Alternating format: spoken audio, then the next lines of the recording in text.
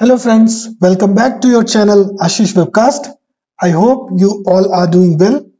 Welcome to the last video of how to set up two-tier PKI environment series. But if you are new to my channel, please subscribe to my channel Ashish Webcast and please watch my other videos as well. You will get the link for my other videos in the description box. So let's start this video without any further delay. So we have successfully configured our two-tier PKI environment. So in this video, we will check if everything is working fine and are we able to issue certificate from our issuing CA. So we will do two things. So first we will open PKI view.msc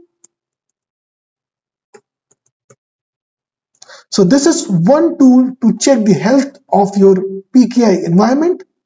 So this is open. Let's let's scroll down to the right. So let's expand the Ashish Webcast root CA. And here you can see the complete hierarchy. So let's first click on Ashish Webcast root CA.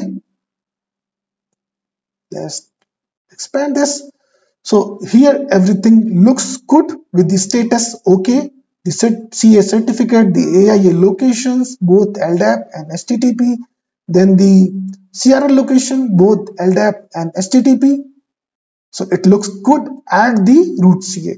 Now let's go to issuing CA and here also if you see the status everything is okay including the OCSP, Delta CRL, CRL and the AIA locations. So this confirms that everything is correct in our PK environment. Apart from this, we will also check whether we are able to issue the certificate from our issuing CA. So for that, I have issued one template. It is a user template, user test.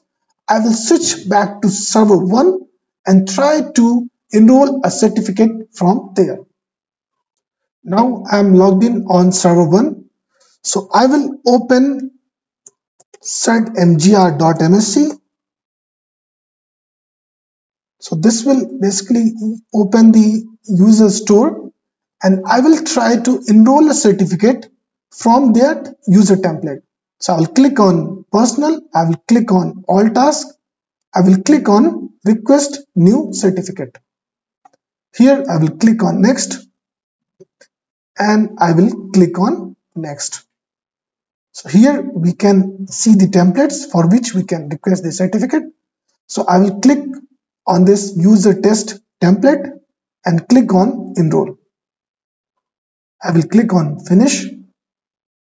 I will go to certificate and here I can see one certificate. I will click on this certificate and this is the certificate issued to administrator by Ashish Webcast issuing CA.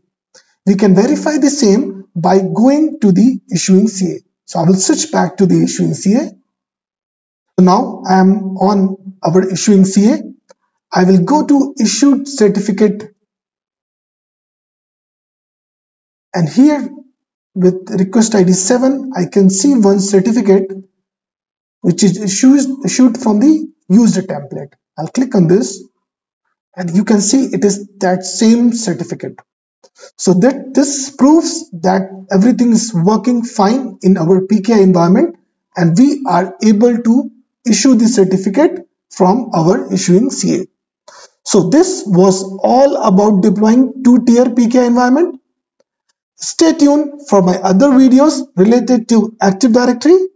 Till then, bye and keep learning.